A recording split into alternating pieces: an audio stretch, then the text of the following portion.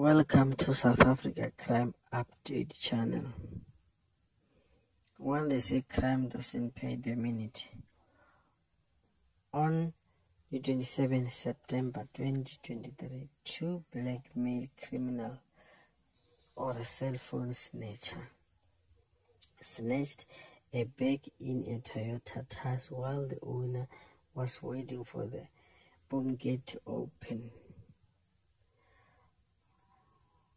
One criminal managed to get inside a Toyota Aegeus getaway, and the second cell phone snatcher ran away with food, and the lady drive through the boom gate and chased the cell phone snatcher and knock over the criminals.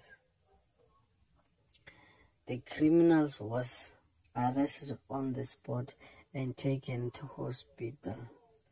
Luckily, the police officer was